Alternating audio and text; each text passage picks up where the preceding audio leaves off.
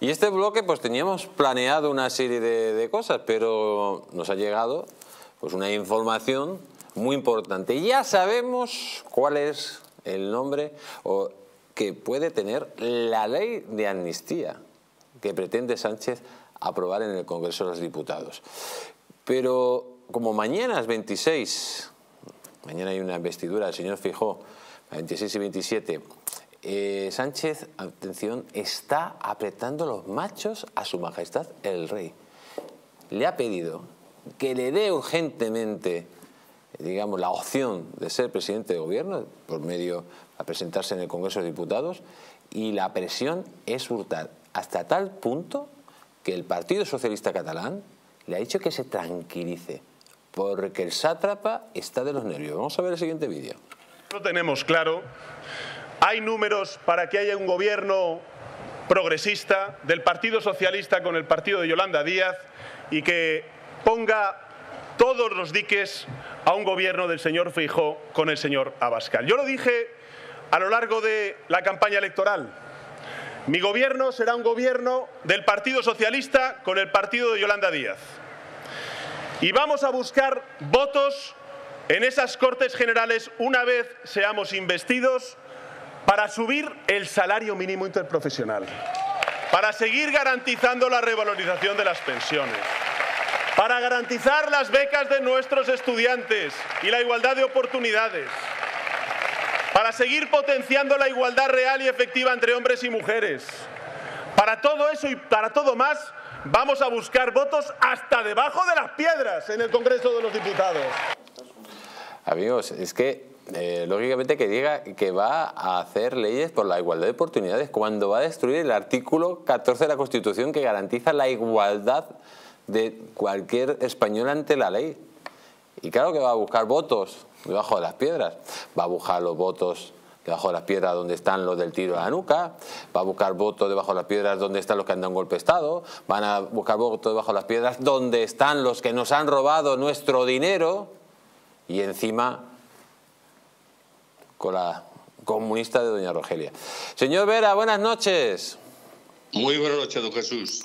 Es, es increíble, ¿no? O sea, eh, Sánchez está apretando el acelerador, quiere que, que Su Majestad el Rey le dé rápidamente la posibilidad de ser presidente, porque claro, en todo ese trámite tiene que aprobar una ley de amnistía.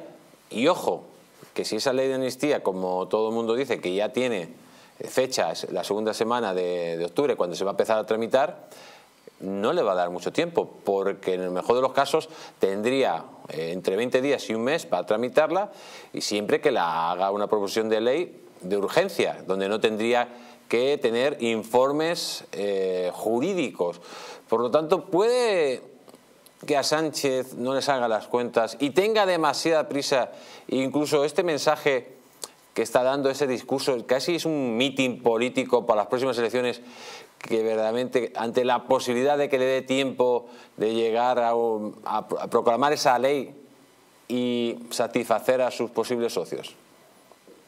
A ver, eh, Sánchez yo creo que juega mm, con todas las cartas y con todas las barajas posibles, ¿no? Él está intentando sacar esto adelante ya, eh, si es posible, pues ahora sin tener que ir a elecciones, pero también está calculando que puede no salirle y que por tanto eh, tiene que estar preparado para unas elecciones anticipadas, para una, para una repetición electoral, puesto que es, es posible, esto que usted dice en los plazos, es, está extremadamente justo y eh, hoy los eh, responsables de Esquerra Republicana lo que han dicho y han reconocido es que bueno la decisión política ya está tomada, están en los problemas técnicos, en los temas técnicos. los temas técnicos en ocasiones se pueden dilatar más de lo necesario y se pueden las cosas eh, complicar ahí en la parte técnica, ¿no? Y si luego además técnicamente pues digamos que el PP encuentra una fórmula para el procedimiento en el Senado, alargarlo al límite, incluso pues eh, con alguna cuestión que pueda surgir imprevista y que pues ya está, ya tiene el problema ahí y si no llega, no llega. Eh, claro, luego dirán todo lo que sea contra el PP, etcétera, etcétera, pero si no llega, no llega. Entonces él tiene que estar preparado. Y está preparado además para vender la burra, por así decirlo, de que, eh, bueno, si va a elecciones, usted imagínese, él no va a ir a elecciones diciendo que quiere amnistiar a Puigdemont, faltaría más. ¿Cómo va a decir eso? Si dice eso, eh, al final, pues eh, los votos que tiene, pues todavía se pueden ver más aminorados. Él tiene que decir que Mm, Puigdemont le ha hecho unas exigencias tales que era imposible asumirlas y que por tanto él, por una cuestión de Estado, prefiere ir a elecciones antes que, antes que pues no sé, ceder más ante Puigdemont. Él lo está organizando, como lo ha hecho siempre, para tratar de ganar en cualquier caso, por una vía o por la otra.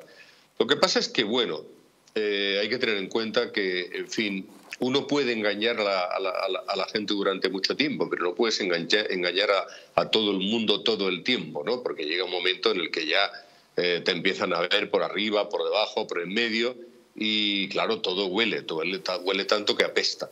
Y entonces, eh, bueno, él está en esta cuestión, pero ya veremos porque no, no lo tiene fácil, sin duda, ¿no?